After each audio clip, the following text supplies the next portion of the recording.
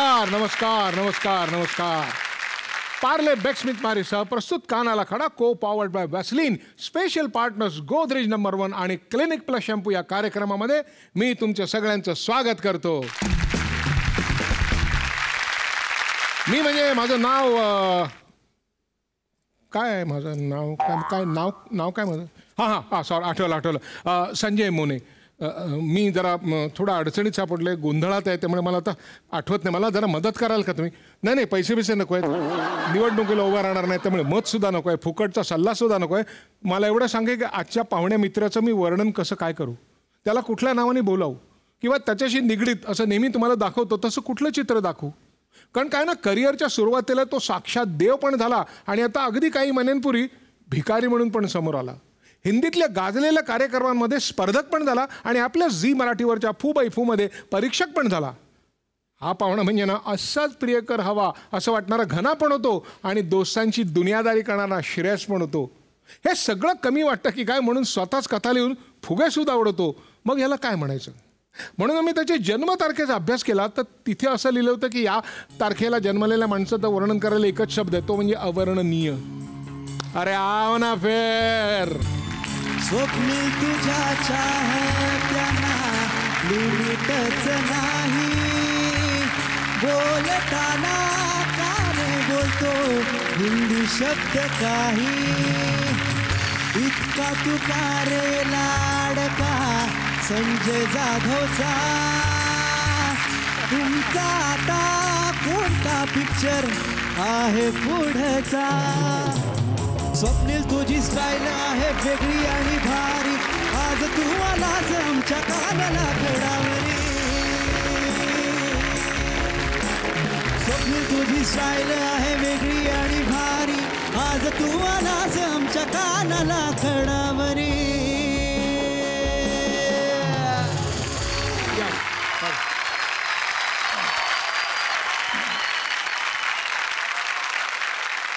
जगातला प्रत्येक माणूस लहान असतो फार थोडे लोक जन्मताच मोठे असतात. आपण त्यापैकी नसतो. काय वाटत होतं की? सॉरी प्रत्येकाला ना काही ना काहीतरी व्हावंसं वाटत असतं. त्यातली नव्वद टक्के लोक पुढे ते होत नाहीत. बरोबर. तसं तुला पहिल्यांदा काय व्हावंसं वाटत होतं? मला पहिल्यांदा आयुष्यात बस कंडक्टर व्हायचं होतं. क्या मान खरंच कारण गिर- गिरगावात राहायचो. हा. आणि अं, आईबाबा बँकेत नोकरी करायचे. त्यामुळे शनिवार रविवार शनिवारी हाफ डे आणि रविवारी सुट्टी.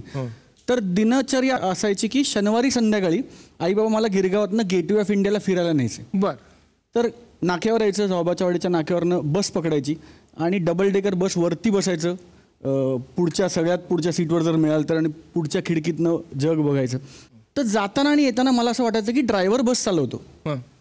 पण जो माणूस कंट्रोल करतोय सगळं तो कंडक्टर असतो. कारण त्यांनी टिंग टिंग केलं की बस थांबते. त्यांनी टिंग टिंग केलं की बस चालू होते. सो त्याच्या हातात सगळी काय म्हणूया सत्ता त्याच्या हातात आहे. पॉवर त्याच्या हातात आहे. तर लहानपणी मला असं वाटलं होतं की मला हा माणूस व्हायचा आहे म्हणजे बस चालवत कोणी का असे ना डोर इसके हात मिळवणे चाहिए तर मला ते व्हायचं होतं. आणि तसा बस कंडक्टर झालो नाही.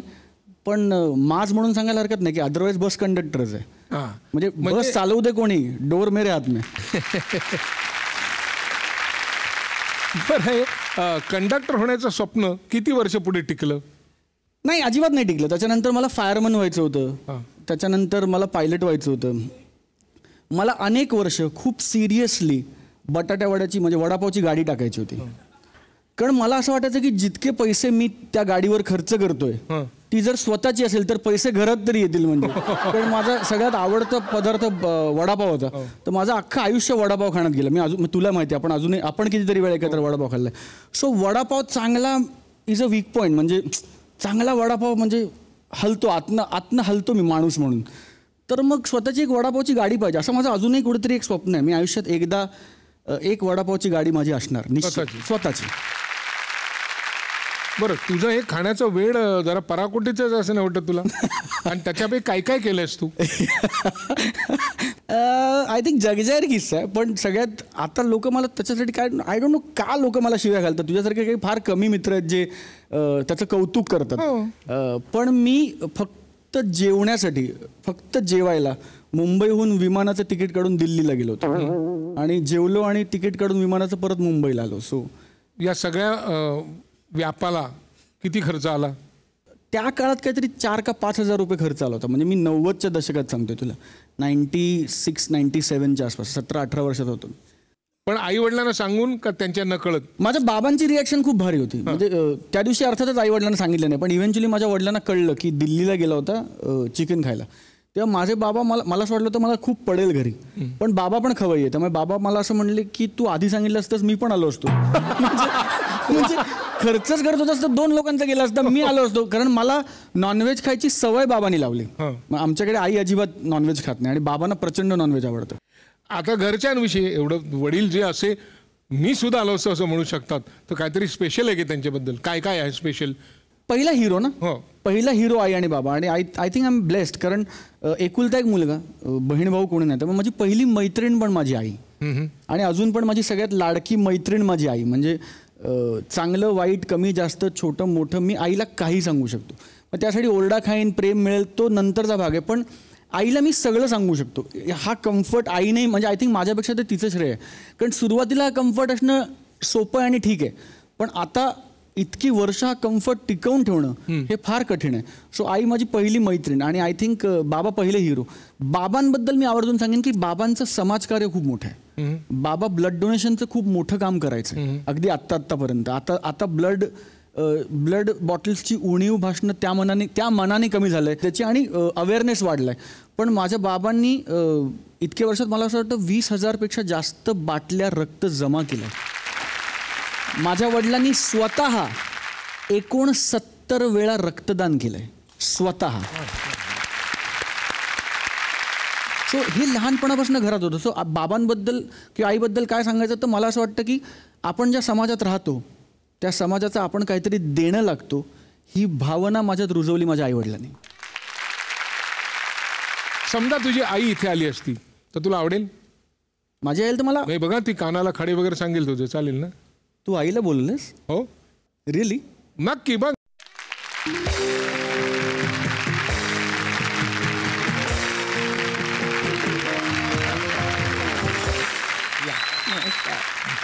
बस. नमस्कार. नमस्कार. तुम्ही एका घरातनं निघता आणि सांगत नाही. अरे ती मला म्हणली आज आम्ही मैत्रिणी मैत्रिणी मिळून एकीकडे भेटणार आहोत वगैरे. तो खूप गोड आहे मुलगा. तो तुमच्याशी गोड वागतो. ते आता मनावर घ्यायचं नाही. आपण इथे जमलोय. त्याचे दोष सांगण्यासाठी. त्याचे काय चालेल. कानाला खडे आहेत? माझ्या पण मनात बरेच दिवस आहेच बरं झालं सांगा, सांगा, बोललं सांगा. हीच वेळ आहे. हीच वेळ आहे. अरे काही खरं नाही आता. काय लहानपणी त्रास बी द्यायचा खूप? खरं सांगायचं तर नाही. नाही. पण तरीही काय? त्याचं असं वागणं की कोणाला तो पटकन नाही म्हणू शकत नाही कोणाला दुखवायचं नाही हा स्वभाव त्याचा कधी कधी त्याला त्रास होतो त्याचा मला त्रास होतो. पण लहानपणी तो काम करायचा तेव्हा काय उशीर वगैरे व्हायचा नाही? कोणीतरी आम्ही बरोबर जायचो ना मी किंवा बाबा असायचे. मग एकदा काय झालं होतं? असंच? हा एकदा इथे एस एल स्टुडिओलाच त्याचं शूटिंग होतं. आणि बाबा होते त्याच्याबरोबर. आणि तेव्हा मी दोघंही बँकेत नोकरी करत होतो. आमच्याकडे स्कूटरच होती यांच्याकडे. आणि बाबांचं फार होत होती की मी त्याला घेऊन जाईन स्कूटरवरून घेऊन जाईन. शूटिंग रात्रभर केलं त्यांनी. यांना सकाळी बँकेत जायचं होतं. मलाही कामावर जायचं होतं. आणि हे निघाले इथून यायला. आणि जो धुवाधार पाऊस सुरू झाला. आणि ह्यांनी काहीच घेतलेलं नव्हतं. ह्याला मजा वाटत होती. तेव्हा मला फोन पण नाही. की कॉन्टॅक्ट करेन कुठे पोचलात काय झालं विचारायला. आणि ह्यांची वाट बघत बघत बघत मी तर गेलेच नाही कामावर ह्यांनाही उशीर झाला. आणि ह्यांना इथून एस एल स्टुडिओने मध्येच थांबायचे खूप मोठा पाऊस आला की मध्येच याचे असं करत करत करत करत पाच तास लागले त्यांना गिरगावात यायला. तेव्हा मग जरा आम्ही दोघांनी कानाला खडा लावला की याच्यापुढे स्कूटरवरून ह्याला कुठेही न्यायचं नाही शूटिंगला तर नाहीच नाही. जोपर्यंत रात्री घरी येत नाही येऊन येऊन सांगतो की आई मी आलोय आता झोप शांत. तुला माहितीये माझ्याकडे अजून. माझ्या घराची किल्ली नाही आहे ह्याचं कारण असं की आईबाबांचं एक थॉट आहे की जर किल्ली दिली ह्याला तर मग कधी येईल आणि कधी जाईल आम्हाला कळणारही नाही की आला का गेला. तर त्यामुळे फंडा आहे की किती वाजले रात्री तरी बेल वाजवायची कोणतरी उठतं दार उघडायला. त्याच्यात दोन गोष्टी त्यांचं. एक हिडन अजेंडा हा आहे की खूप उशीर होऊ नये म्हणून हा वेळेवर पण येईल कारण आईबाबांना उठायला लागेल. आणि दुसरं असं की किती वाजता आलं तरी आम्हाला कळलं पाहिजे की स्वप्नील आत्ता घरी आला. मग आम्ही शांत झोपू. त्यामुळे अजूनही माझ्याकडे घराची किल्ली नाही मग डायरेक्ट तुझ्या हातात किल्ली आली ती यशस्वी चित्रपटांची. आधी काही गुरु किल्ली किल्ली काय? शक्यतो काय होतं ना अभिनय क्षेत्रामध्ये काम करताना बरेच वेळेला लोक छोटी छोटी कामं करतात मग मोठी मोठी कामं करतात आता तू डायरेक्ट परमेश्वराचंच काम केलंस. खरं ह्या मधल्या पायऱ्या कशा काय वगळल्या गेल्या? नाही आय थिंक मी नाही वगळलं आय थिंक परमेश्वराचीच तेच ते म्हणजे कशी काय निवड झाली याच्यावर? निवड ह्याचं मला असं वाटतं की ह्याचं श्रेय दोन लोकांना जातं प्रामुख्याने. एक अर्थात डॉक्टर रामानंद सागर ज्यांनी मला ती संधी उपलब्ध करून दिली.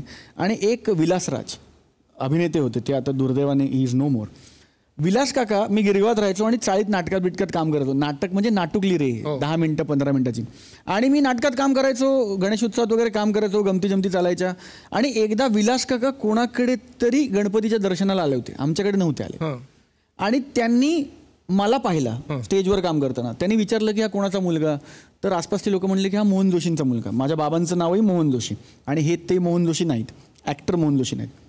मग ते आले आमच्याकडे. विलासराज आमच्याकडे आले म्हणून आमच्याकडे चहा कॉफी लोकांची गर्दी की विलासराज आमच्याकडे आले. कारण ही वॉज अ स्टार आले भेटले बसले ते म्हणले की मी एक नाटक करतोय. तुमचा मुलगा नाटकात काम करेल का? बाप मुलाची गोष्ट आहे. आणि मे महिना वगैरे येणार होता ते म्हणजे मला आत्ता नाही चालू करायचं आत्ता गणपती आहे. आपण तालमी फेब्रुवारी मार्चमध्ये करू. मग मे महिन्याच्या सुट्टीत दीड महिन्याचा काहीतरी दौरा आहे तो करेल का वगैरे? आणि मी म्हटलं हो, करीन.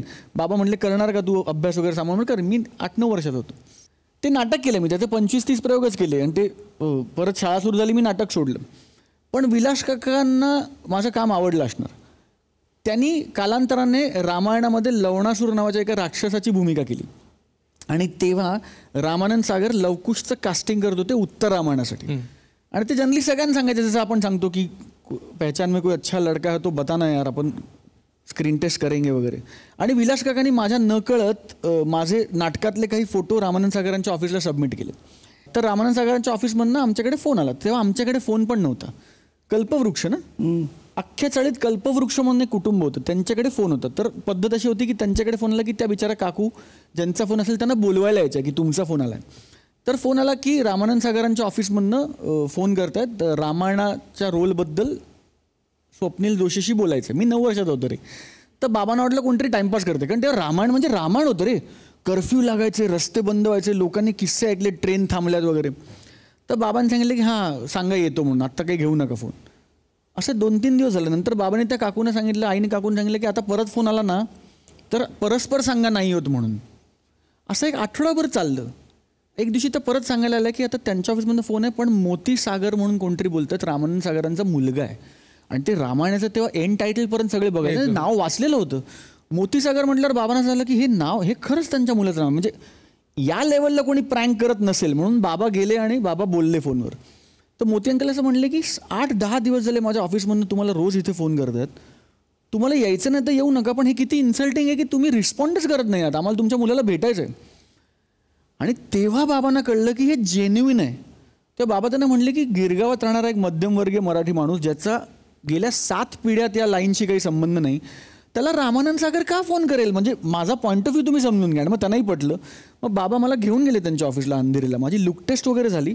आणि आउट ऑफ द ब्लू मला उत्तर रामायणातल्या लवकुशमधल्या कुशचा रोल मिळाला. And that is how it all started so परमेश्वराची इच्छा विलास काका आणि डॉक्टर रामानंद सागर. आणि टू सर्टन एक्सटेंट त्या कल्पवृक्ष काकू. आणि त्याच्यानंतर पुढचं कुठलं काम? त्याच्यानंतर मी परत अभ्यास करत होतो. त्याच्यानंतर रामानंद सागरनीच मला पुन्हा बोलवलं.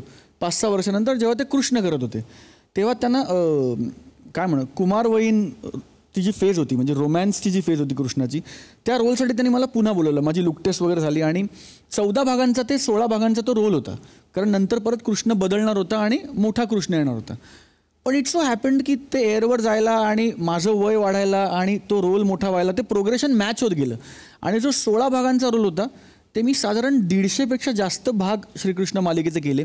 आणि खऱ्या अर्थ कारण मी रामायण केलं तेव्हा मी खूप लहान होतो. मी आठ नऊ वर्षात होतो. त्यामुळे फेम प्रसिद्धी हे सगळं मी बघत होतो. पण ह्याला हे म्हणतात हे कळण्याचंही माझं वय नव्हतं. आणि थँकफुली आईवडिलांनी कधी ते डोक्यात जाऊ दिलं नाही. पण कृष्णा करताना पहिल्यांदा ते सगळं मला जाणवलं की मी काय करतोय. म्हणजे ॲक्च्युली रस्ते बंद झालेत कर्फ्यू लागलेत ट्रेन थांबल्यात हे सगळं मी माझ्या डोळ्यांनी पाहिलंय. So Krishna I think was my first big break to understand the power of this medium त्यावेळेला म्हणजे आपण अगदी पूर्वी बघितलं तर संत तुकाराममध्ये विष्णू पागणीस त्यांना लोक पाया पडायचे. नंतर राम आणि सीता. तसं तुझ्याही बाबतीत झालं असेल हो, ना काय काय झालं असेल? काय काय मर्यादेपर्यंत किती लोक आणि काय म- कल्पना नाही करू शकत. तू सांगितलं जास्त बरोबर सगळ्यांसाठी. म्हणजे दर शनिवारी संध्याकाळी बरोड्याला माझा दरबार लागायचा. म्हणजे? दरबार म्हणजे भारताच्या कानाकोपऱ्यातनं लोक बसेस घेऊन दर्शनाला यायचे.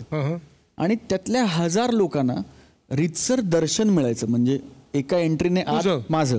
आणि एका एंट्रीने बाहेर. असं रितसर दर्शन मिळायचं. मी सोळा वर्षाचा होतो. हं. आणि लोक म्हणजे मी काही बघितलंय. मी आठ दिवसाचं मूल पायावर ठेवलेलं पाहिलंय की ह्याचा ताप जात नाही ह्याला आशीर्वाद द्या वगैरे. आणि मी सोळा वर्षाचा होतो. आणि पहिले दोन दिवस मी सांगितलं की माझं आणि डॉक्टर रामानंद सागरांची रिलेशनशिप खूप भारी होती. ते आजोबांसारखे होते मला. ते मला आजोबा आणि नातू या लॉजिकनेच सगळं समजवायचं तर मी त्यांना सांगितलं की मैं नहीं बैठूंगा उधर. वो सब मेरे पाव छूते मेरे को बहुत बुरा लगता है. मैं नहीं बैठूंगा उधर. आणि मग दोन तीन दिवस तो दरबार बंद झाला. पहिल्या दिवशी त्याने मला रूममध्ये बोलवलं. ते म्हणले बैठो आपसे बात करनी आणि ते म्हणले आपको क्यों नहीं बैठना है उस दरबार में? तो मी म्हटलं क्योंकि वो लोग पाव छूते मेरे कितने बड़े बड़े लोग आते हैं और उम्र में कितने बड़े हैं मेरे पाँव छूते हैं, कितना अजीब लगता है। कैसे लगेगा अगर आप मेरे पाँव छूएँगे तो? तो ते म्हणले लेकिन आपसे किसने कहा कि वो आपके पाँव छू रहे हैं? आप सिर्फ़ एक ज़रिया है, वो पाँव श्री कृष्ण भगवान के छू रहे हैं। But if you are if you are the process through which they can visualise their god तो आप कौन होते हैं उनको डिनाई करने वाले to deny them this right to reach their god because वो आप में भगवान देखते हैं। तो आप एक काम करो आप उनको पाँव छूने दो। और आपको जो गिल्ट है ना कि आप कैसे उनको अलाउ करते हो तो एज अ ह्यूमन बीइंग जो आपको ठीक लगता है आप उनको वो ॲडवाईस बी दे दिया करो। तर मम्मी काय करायचं उदाहरणार्थ आता लहान मूल जर पायावर ठेवलं आणि म्हणलं की अं, ह्याचा ताप जात नाही आहे ह्याला आशीर्वाद द्या. तर मी त्यांना आशीर्वाद द्यायचो कृष्ण म्हणून. आणि मग मी सांगायचो की मैंने मेरा कर्म किया है अभी आप आपका कर्म करो. आपका कर्म क्या है? उसको डॉक्टर के पास लेके जाओ. तो आप उसको डॉक्टर के पास लेके जाओ. आणि मग देव सांगतो म्हणून ते मुलाला डॉक्टरकडे घेऊन जायचे. सो हा अवेअरनेस डॉक्टर म्हणजे ते मी सगळं बघितलं मी मी अंबाला कॅन्टोन्मेंट स्टेशनला ट्रेन थांबलेली बघितली कारण मोटरमन म्हणला की कृष्णाचा एपिसोड जोपर्यंत बघत नाही तोपर्यंत मी गाडी पुढे नेणार नाही मला काढा नोकरीवरनं. सो मी तो मोटरमन आम्ही सगळ्यांनी अंबाला कॅन्टोन्मेंटच्या स्टेशनवर स्टेशन ऑफिसरच्या बस याच्या टी व्हीवर कृष्णाचा एपिसोड बघून माझा सत्कार करून हारतुरे देऊन नंतर ट्रेननी आम्ही पुढे आलो असंही मी बघितलंय. असे अनेक किस्से मी बघितलेत. मी कर्फ्यू लागलेला बघितलाय. मी माझा तो किस्सा खूप फेमस आहे की म्हणजे माझ्या तोंडून सांगणं खूप ऑकवर्ड आहे पण किस्सा म्हणून की मी एका मंदिराच्या उद्घाटनाला गेलो होतो. जरिया हो आप. वा वा संजय. मी एका मंदिराच्या उद्घाटनाला गेलो होतो. आणि साधारण तीनशे फुटावर देऊळ होतं आणि हेलिकॉप्टरनी लँड करायचं होतं. मी आणि डॉक्टर आनंद सागर आम्ही दोघंही गेलो होतो. आम्हाला कळत नव्हतं की खूप वेळ तो पायलट हेलिकॉप्टर वरती फिरव मी सोळा सतरा वर्षाचा होतो. आणि तो लँड करत नव्हता.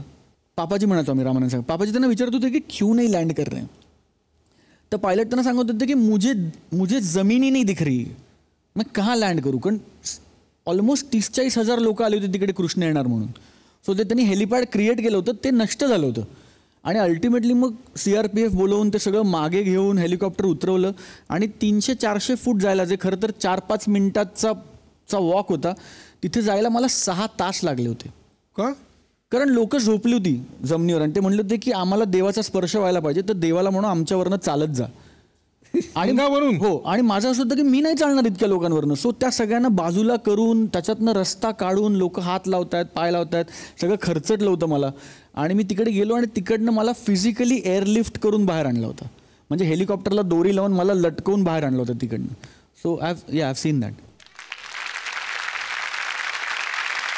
नाही आता तू जे सांगितलंस ना की आशीर्वाद द्यायचास आणि सांगायचंस की तुम्ही डॉक्टरकडे जा. लोक आज याची गरज आहे. की कोणीतरी सांगण्याची की जे दिसतं जे असतं त्याच्यावर विश्वास ठेवा. काहीतरी आहे याच्यावर विश्वास ठेवू नका आणि यासाठी कानाला खडा लावा की प्रत्येक गोष्ट आपल्या नजरेला पटल्याशिवाय आपल्या बुद्धीला पटल्याशिवाय करायची नाही. कोणीतरी सांगतं म्हणून तू हि हिंदीमध्ये काम करत होतास उत्तम सगळं होतं आणि तू ठरवून मराठीत आलास. तर हा विचार किंवा हा बदल तू काय डोक्यात ठेवून गेलास नेमका? हिच्यामुळे कारण मी हिंदीत कितीही मोठं काम केलं आणि मी काही येऊन घरी सांगितलं ना की माझं आता अमुक अमुक शो आहे आणि त्याचा टी आर पी एवढा आहे नंबर वन शो आहे. ती म्हणायची मराठीत काम कर तर मानते. का असं वाटायचं पण? शेवटी मराठी आपली मातृभाषा आहे. आपल्या लोकांसाठी पहिल्यांदा आपण काहीतरी करायला पाहिजे. ना हिंदी लोक आपली नाही तसं नाही. ती पण आपलीच आहेत सगळी. पण माझ्या कुठेतरी मनात असं होतं की ह्याने मराठीत केलं तर मला जास्ती बरं वाटेल. त्याच्यामुळे त्याने ऐकलं ते माझं. त्यामुळे मला त्या त्या बाबतीत फार त्याचा अभिमान वाटतो की आईला बरं वाटावं म्हणून त्यांनी हे केलं सगळं. आम्ही एक दिवशी मला सगळ्या हिंदी निर्मात्यांनी सांगितलं की आता मी एक वर्ष हिंदीत नाही करणार काही. का मग ते मी फक्त हिंदीत काम करायचो. आणि ते सगळे म्हणले की तू काय करणार? म्हटलं आता मी मराठी करणार. तर तेव्हा दुर्दैवाने मराठीकडे तसं लुकडाऊन केलं जायचं. कारण it was not that this big तर ते म्हणले की तू हिंदी शो छोड के मराठी शो क्यों कर रहा है? म्हटलं मेरी मर्जी. मैं क्यों कर रहा हूँ? मतलब मेरी मर्जी. आणि मी मराठीत काम करायला सुरुवात केली. आणि I am glad I did that कारण मराठीचा जो प्रवास गेल्या पंधरा वीस वर्षात झाला आहे तो तो अद्भुत आहे. आणि मला मी स्वतःला फार भाग्यवान समजतो की या प्रवासाचा भाग मी होऊ शकलो याचा मला फार आनंद आहे. सो आई जे सांगते ते फायद्याचंच ठरतं इव्हेंच्युअली पहिला शो कुठला मराठीतला? कुठला सांग? ते हो, तोच तो. तोच तो. तोच पहिला शो संजय तेरे घरच्या समोर नावाचा एक सचिनजींनी शो प्रोड्यूस केला होता ज्याच्यात संजय आणि माझी ओळख झाली. संजय मोने इला भाटे विनोद कुलकर्णी सतीश तारे मी आणि सोनाली खरे. विजय केंकरे त्याचे दिग्दर्शक होते. आणि अविनाश अविनाश ठाकूर. करायचं आणि करायचं आणि सहदिग्दर्शक होते. सचिनजी निर्माते होते. हा माझा तसं बघायला गेलं तर पहिला वहिला मराठी शो मी अधुरी एक कहाणी नावाचा एक शो केला होता राकेश सरांबरोबर. नीनाताई आणि तो तो परत झीवर आला होता. म्हणजे झीचं पण खूप मोठं आय थिंक झीचं खूप मोठं योगदान आहे माझ्या या संपूर्ण प्रवासात. आय थिंक मी मराठीमध्ये जे काही नाव कमवलं त्याच्यात झी मराठीचं आणि झी समूहाचं खूप मोठं योगदान आहे. आज मी जो काही आहे त्याच्यात त्यांचा सिंहाचा वाटा आहे असं म्हटलं तर वावगं ठरणार नाही. पण coming back to the show तो शो मी केला पहिला मराठी शो आणि पहिल्याच मराठी शोमध्ये तुम्ही सगळे होतात रे बरोबर. त्यामुळे त्याच्यानंतर मराठीबद्दल जे काही प्रेम एक वेगळंच निर्माण झालं ते मग खाण्याची आवड तुझ्या वडिलांनी जोपासली ना? बाबा बाबा फुडी बाबा फुडी. पण मग जेव्हा ते सगळं झालं ते जरी म्हणाले असले की मी आलो असतो दिल्लीला तरी मनातनं त्याने जरा धसकाच गेलता असेल ना? अरे हा काय असं काय काय वगैरे असं नाही अजिबात नाही. म्हणजे जे जे बाबांना ओळखतात ते सांगतील. आहे. अजिबात नाही. त्यांना जेन्युइनली आनंद झाला होता की की हा खायला दिल्लीला गेला. माझा पोरगा आहे. बघूया अजून बाबांना काय म्हणायचं तुझ्याबद्दल बघूया. काय? बघ बघ. स्वप्नेचा स्वभावच खर्चिक आहे. पहिल्यापासून तो खर्चिकच आहे. साध्या शर्ट देखील त्याचे तीन हजार चार चार हजार रुपयाचे शर्ट असतात. करायचे काय एवढे शर्ट पाचशे रुपये चांगले चांगले शर्ट मिळतात. पण ऐकत नाही. अहो पण कधी कधी हे अवॉर्ड वगैरे मिळून आता आला की मग वाटतं की आपला मुलगा खरंच मोठा झाला. म्हणून शेवटी हा जनरेशन गॅप आहे? म्हणून कानाला खडा लावला शेवटी. या बाबतीत बोलायचं नाही काही. आता हे जाहीरपणे सांगतो की मी अजूनही बाबांसाठी जे कपडे आणतो किंवा जे बूट घेतो किंवा काही करतो मी आता जाहीरपणे मान्य करतो बाबा म्हणलेच आहेत. तर की मी बाबांना त्याची खरी किंमत सांगत नाही. बाबांसाठी ते नेहमी स्वस्तातले असतात. बाबांसाठी ते बूट आईला माहिती असतं सगळं. बाबा आई इक्वली रिस्पॉन्सिबल आहे. प्लीज आई शिव्या घातल्या तर तिला पण घाला. त्यांना जर आता सांगायला गेलं की चांगला शर्ट हजार पंधराशेच्या खाली मिळत नाही चांगली पॅन्ट दोन हजारच्या खाली मिळत नाही चांगले बूट हजार दोन हजारच्या खाली मिळत नाही तर त्यांना ते मान्य नाही. आणि ते ते इतके काय म्हणूया आपण त्याला इतके ते क्लिअर आहेत त्या बाबतीत ते म्हणतात की मग नको आणू मला मी जुनं वापरेन. सो आता जुनं वापरेन ह्या ह्याच्यावर कमबॅक नाही आहे माझ्याकडे. त्यामुळे जसं त्यांनी कानाला खडा लावला आहे की मी त्याला हल्ली पैशावरनं बोलत नाही तसं मीही कानाला खडा लावला आहे आणि मी काय म्हणूया आपण त्याला नाईलाज असतो टू दिस एक्सटेंट माझ्या वडिलांशी खोटं बोलतो. आई बाबा तुझे मित्र आहेत. असं तू जाहीरपणे म्हणतोस वागतो तेच असं म्हणतात बरेच. वागणं जरा कठीण असं दोन्ही बाजूनी. तेव्हा आयुष्यातले आपण काही महत्त्वाचे निर्णय घेतो. बहुतेक साध्या साध्या निर्णयात सुद्धा आपण आईवडिलांचा सल्ला घेतो. लग्न आयुष्यातला खूप मोठा निर्णय असतो. काही जण करत नाहीत काही जणांचं होत नाही सुदैवाने दुर्दैवाने. परंतु बहुतेक लोकांचं होतं सुदैवाने दुर्दैवाने. तर जेव्हा तू लग्न ठरवलंस तेव्हा तुम्ही तीन मित्रांनी मिळून चर्चा करून ठरवून लग्न केलं का तुझ्या निवडीला त्यांनी मान दिला का त्या दोघांची तुझी निवड जमली आणि तुम्ही आपण नाही आता लग्न करूया असं? आय थिंक आईबाबांबरोबर नेहमीच जी जे नातं आहे माझं त्यात त्यांनी नेहमीच एक गोष्ट पाळली आहे म्हणजे हे त्यांचं कौतुक आहे की ते मला कधीच हे कर किंवा ते करू नको असं कधीच सांगत नाही. माझं अपब्रिंगिंगच ते नाही. मला नेहमी मी काही म्हटलं की मला अमुक करायचं आहे की ते मला सांगतात की ह्याचे फायदे हे आहेत ह्याचं नुकसान हे आहे. ह्याच्यात चांगलं हे वाटतंय वाईट हे वाटतंय तू ठरव. आणि त्याच्यानंतर मी जे केलं आहे आत्तापर्यंत त्या सगळ्यात ते माझ्या मागे खंबीरपणे उभे राहिलेत. सो आय थिंक लग्नाच्या बाबतीतही असंच झालं की त्यांनी मला सांगितलं होतं की हे आम्हाला प्लस वाटतं हे आम्हाला मायनस वाटतं हे चांगलं वाटतं हे वाईट वाटतं दुर्दैवाने माझं पहिलं लग्न झालं आणि त्याच्यात माझा डिवोर्स झाला. सो पहिलं लग्न टिकलं नाही. दुसरं लग्न जे झालं जे आता उत्तम सगळं देवाच्या कृपेने सुरू आहे. पण या दोन्ही केसेसमध्ये आईबाबांनी तेच केलं की तुला ओके वाटतंय ना? कारण तुला आयुष्य काढायचं आहे आम्ही तुझ्या बरोबर आहोत तू जे करशील त्याच्यात. पण तुला ओके वाटतं ना तू हे कर. त्यामुळे I think Dev always been with me like that so आईबाबांना लूपमध्ये ठेवून लग्न केलं. आणि आता देवाच्या कृपेने फर्स्ट क्लास म्हणजे लीना आहे बायकोचं नाव.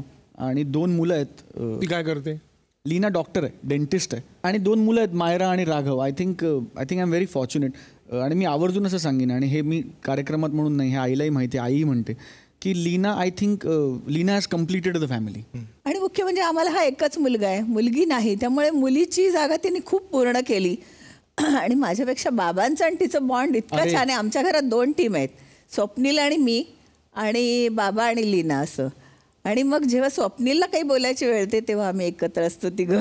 बरं मला बोलायचं झालं की ही पण त्या टीममध्ये जाते. आणि मी फक्त शिव्या खातो.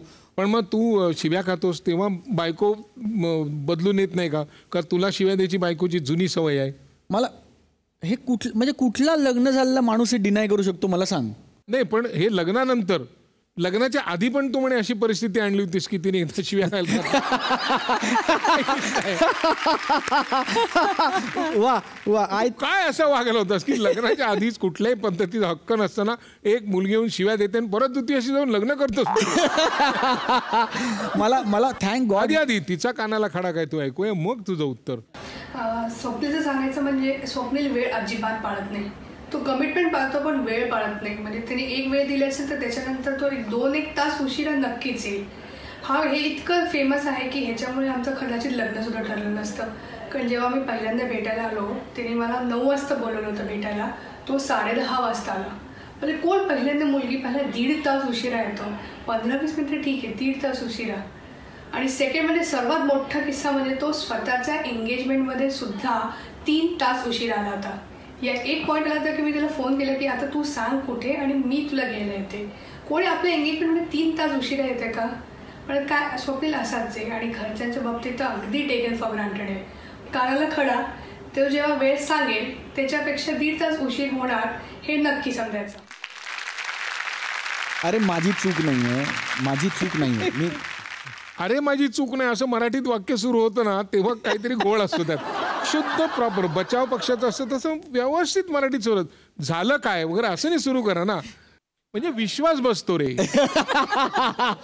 त्याच्यावर मी येणार तुझ्याकडे पण झालं असं की आम्ही पस्तीस लोक बस करून चाललो होतो साखरपुड्यासाठी.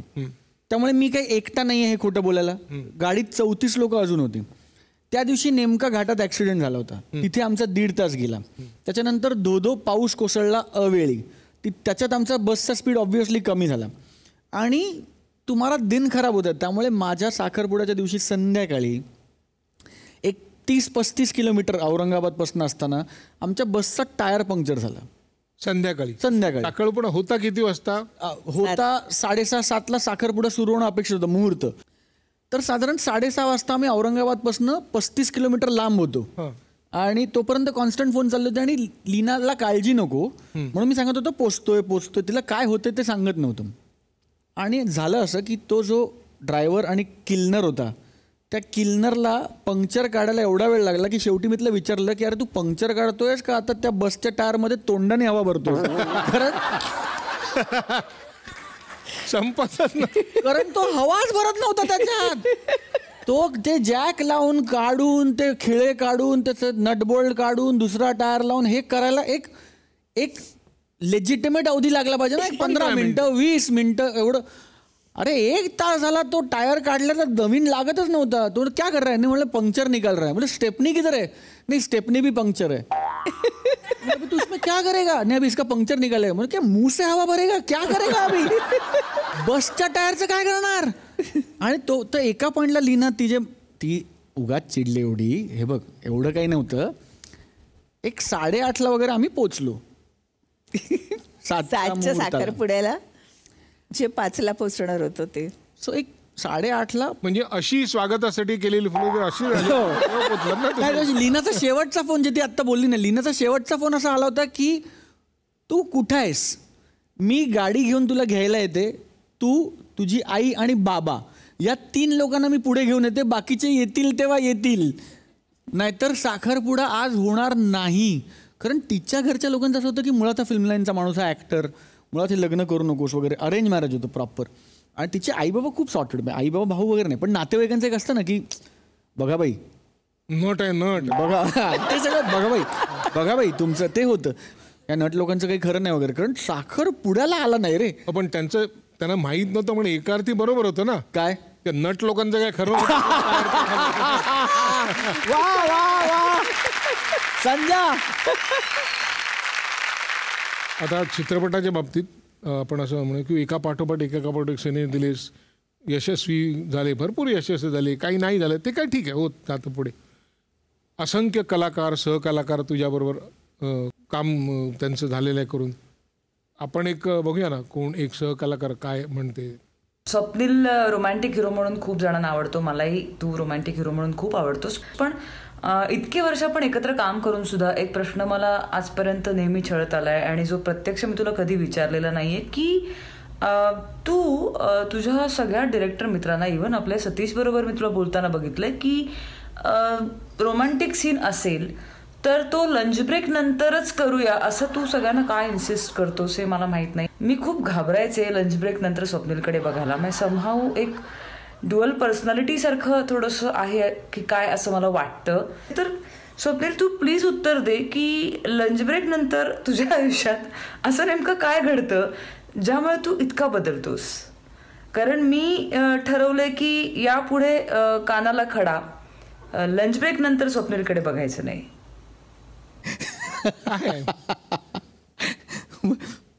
मुक्तानी हे शोधून काढलंय. मला खायचा शौक आहे माहिती आहे आता ज्या लोकांना माहिती नाही त्यांना मी हे सांगतो खरं मी हे फार सांगत नाही मी तुला हे माहिती आहे पण की मी लंच नंतर एक तास काम करत नाही. सगळ्या दिग्दर्शकांना माझी विनंती असते की लंच नंतर एक तास मी आराम करणार. मला आरामाला वेळ पाहिजे. मी तुम्हाला चित्रपट साईन करताना हे सांगतोय. मला घ्यायचा की नाही तो तुमचा कॉल आहे. साईन करताना मी सांगतो की लंच नंतर मी एक तास काम करत नाही. ते मला तो वेळ देतात आणि मी झोपतो लंच नंतर मला आवडतं. लंच नंतर एक वीस मिनिटाची पॉवर नॅप मला अत्यंत प्रिय आहे.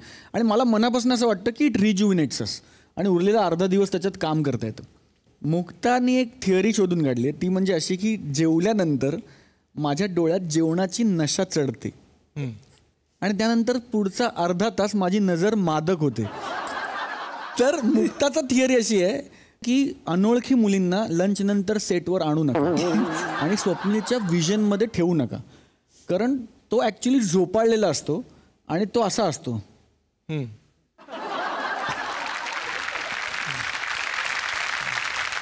आणि समोर बसलेल्या मुलीला असं वाटत असतं की हा अत्यंत मादक नजरेने माझ्याकडे बघतोय.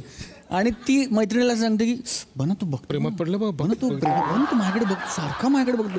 तिला हे माहिती नसतं की मी तिच्याकडे बघत नसतो. मी मनाने झोपलेलो असतो.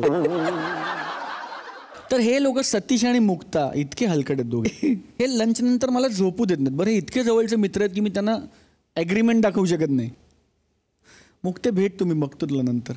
बघूया एकच अशी आहे का दुसरं अजून? तिला काय वाटतंय? अरे देवा. हा स्वप्नील जोशी. स्वप्नील जोशी कमालीचे ऍक्टर आपल्याला माहिती आहे पण मला असं वाटतं की ऑफ स्क्रीन जे ती ऍक्टिंग करतात ना ती ऍक्टिंग कोणीच म्हणजे त्या लेवलला कोणीच ऍक्टिंग करू शकत नाही. कारण डिप्लोमसी आणि पॉलिटिकली करेक्ट राहणे हे काय असतं हे फक्त आणि फक्त स्वप्नील जोशींकडनं शिकावं. म्हणजे ते ज्या पद्धतीने लोकांशी वागत असतात आपल्याला माहितीच नसतं किंवा कळतच नाही की त्यांच्या मनात नेमकं त्या व्यक्तीविषयी काय आहे.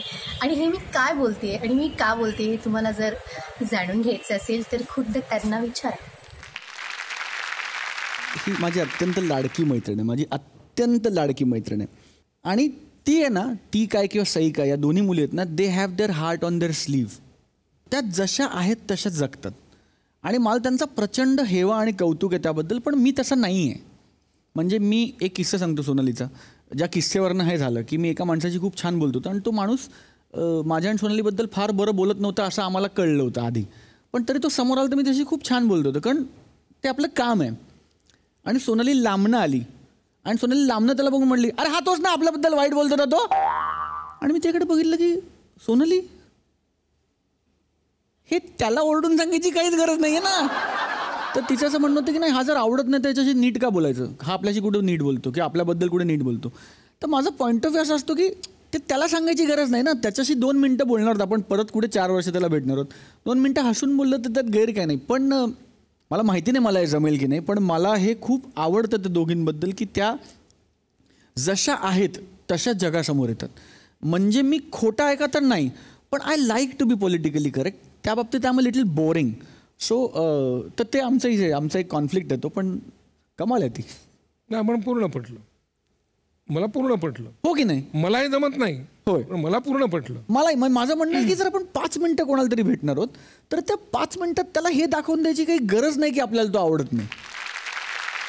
इतकी वर्ष चित्रपटसृष्टीत आहेस हिंदीमध्ये होतास नंतर तू मराठीत आलास त्याच्यानंतर जाहिराती करतोस बरंच बरंच बरंच बरंच बरंच बरंच बरंच बरंच काही करतोस. ह्या एवढ्या प्रवासामध्ये काय कानाला खडे लावलेस तू? दोन चार लावले. मला म- मला आवर्जून एका गोष्टीची खंत वाटते की गेल्या काही वर्षांमध्ये आपला सोशल मीडिया खूप फोफावला आहे. आणि खूप त्याचे फायदे खूप आहेत आणि त्याचं तो खूप त्यामुळे लोकांपर्यंत पोचता येतात. पण ना ट्रोलिंग पण खूप वाढलं आहे आणि ट्रोलिंग जोपर्यंत प्रोफेशनल आहे तोपर्यंत त्याचा कधीच त्रास होत नाही. ट्रोलिंग जेव्हा तुमच्या जातीवर होतं तुमच्या धर्मावर होतं तुमच्या आडनावावर होतं तेव्हा त्याचा त्रास व्हायला सुरुवात होते. कारण ॲक्टर म्हणून तुम्हाला माझं काम आवडो किंवा न आवडो हा तुमच्या चॉईसचा भाग आहे. पण माझं आडनाव अमुक आहे म्हणून मी वाईट ॲक्टर हे समीकरण मला कळत नाही. किंवा माझं आडनाव अमुक आहे म्हणून मला पुढचा सिनेमा ऑफर नाही व्हायला पाहिजे ही हेट्रेड मला कळत नाही. तर मला त्याचा पूर्वी खूप त्रास व्हायचा. पण इव्हेंच्युअली मी कानाला खडा लावला की त्याचा त्रास करून घ्यायचा नाही कारण मी जर त्याचा त्रास करून घेतला तर जे लोक हे करतात त्यांचा उद्देश सफल होतो. आणि तो सफल होऊ द्यायचा नाही हे माझं काम आहे. आडनाव जात धर्म या पलीकडे जाऊन जो काम करतो त्यालाच कदाचित कलाकार म्हणतात. आणि मला अत्यंत अभिमान आहे आपल्या क्षेत्राचा. टेलिव्हिजन असो नाटक असो चित्रपट असो गीत असो संगीत असो लेखक असो पेंटर असो स्कल्प्टर असो क्रिएटिव्ह लोकांचा मला अत्यंत अभिमान आहे. कारण कदाचित आता एकमेव अशी शैली उरली आहे जिथे तुम्हाला विचारत नाहीत तुमचं आडनाव काय. तुम्हाला फक्त विचारतात काम चांगलं करतोस ना. म्हणजे या गिटार वाजवणाऱ्या मुलाला मी त्याचं नाव मला माहिती नाही. मी फक्त त्याला विचारतो तू गिटार वाजवणार? तुला गिटार चांगलं वाजवता येतं ना. आय डोंट केअर तो हिंदू आहे का मुसलमान आहे. It doesn't matter to me what matters is त्याला त्याचं काम उत्तम येतं का नाही. मला असं वाटतं की कलेक्टिव्हली एक रा महाराष्ट्र म्हणून देश म्हणून आपण सगळ्यांनी म्हणजे तो कानाला खडा मी मला लावला आणि मला या प्लॅटफॉर्मच्या माध्यमातून आव्हान करायचं आहे की आपण या सगळ्याच्या वर उठूया. आणि आपण कलाकाराला कलाकार म्हणून बघायला सुरुवात करूया. तो मराठीत काम करतो का तो हिंदीत काम करतो का तो मल्याळममध्ये काम करतो हे मॅटर करत नाही एका पॉईंटनंतर तो चांगलं काम करतो हे मॅटर करतं. आपण त्याचं काम आणि त्याची कला ह्याचा आदर करूया. त्याला आपण जातीच्या धर्माच्या बंधनात नको बांधूया. ते आपल्यासाठी आणि कलेसाठी दोघांसाठीही घातक आहे. तुला काय वाटतं अजून कोण कोण उरले असतील कानाला खडे लावणारे?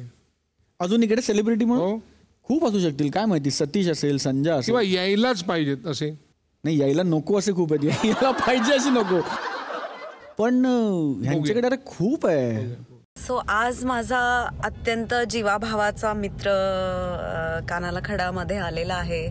आणि त्याला हेच सांगायचं आहे की you are the best thing that has happen to me मी माझं आयुष्य तुझ्या विना इमॅजिन करू शकत नाही. म्हणजे एक नशीबवान समजते मी स्वतःला की एक निखळ मैत्री तुझ्या रूपात मला मिळालेली आहे. अजून काही गोष्टी आहेत ज्या माझ्या बेस्ट फ्रेंडबद्दल कोणाला माहीत नाही आहेत त्यातली एक गोष्ट म्हणजे माझा बेस्टेस्ट फ्रेंड लॉच्या डिग्रीचा टॉपर आहे. तो आय थिंक भारतात तिसरा वगैरे आलेला आहे. आणि असं म्हणतात ना की आधी पोट आधी पोटोबा मग विठोबा. तर ह्या म्हणीवरती त्याचा खूप विश्वास वाटतो. आणि I think the way to his heart is through his stomach. हा तर ह्या गोष्टी आहेत ज्या माझ्या बी एफ एफबद्दल कोणालाच माहीत नाहीये. ती म्हणाली काय म्हणणं काय त्याच्यावर तुझं? त्याच्यावर काय म्हणणं नाही. मला असं वाटतं की सई आणि मी एकमेकांचे आरसे होत खऱ्या आयुष्यात. म्हणजे एखादा इंटरव्ह्यू येतो माझा आणि त्या इंटरव्ह्यू ती वाचते आणि तिला एक्झॅक्टली बिटवीन द लाईन्स मला काय म्हणायचं ते कळतं. ती मला फोन करते आणि म्हणते की हां बोल. क्या बोलणार रे गो मग मी माझ्या मनात जे आहे ते सगळं तिच्याकडे ओकून टाकतो आणि परत मी रिलॅक्स होतो. आणि सेम तिचंही होतं. म्हणजे रँडमली मी तिला फोन करतो की आज मी तुझं एक ट्विट वाचलं. काय झालं आहे आणि ती म्हणते मी तिला रात्री फोन करते. मग ती रात्री फोन करते आणि ती सगळं माझ्याकडे ओकून टाकते. सो आय थिंक आम्ही एकमेकांचे आरसे होत आम्ही जगासमोर कसे का असे ना आम्ही खऱ्या आयुष्यात कसे होते एकमेकांना माहिती आहे. आणि आम्ही एकमेकांबद्दल अत्यंत जास्त प्रोटेक्टिव्ह होत. So I love you Sai and thank you so much for just being you and thank you so much for this friendship I I cannot imagine my life without you I love you Swapnil तू इथे आलास त्याबद्दल एक प्रेमाची खूण म्हणून. Zee मराठीतर्फे तुला एक प्रेमाची भेट.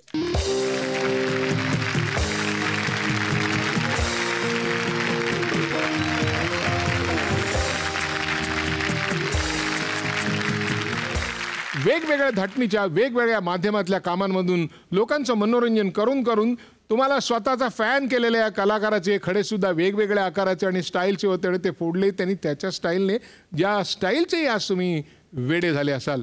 आता फार वेडेपणा न करता स्वतःच्याही आयुष्यातले खड्या पटापट फोडा तोपर्यंत मी थांबतो इथेच आणि भेटतो तुम्हाला पुढच्या भागात वेगळे खडे वेगळे पाहुणे घेऊन. तोपर्यंत पाहत राहा. पार्ले बेक्समित मारीसह प्रस्तुत कानाला खडा को powered by Vaseline special partners Godrej number one आणि क्लिनिक प्लस शॅम्पू ऐसी तो मेरी तकदीर न थी।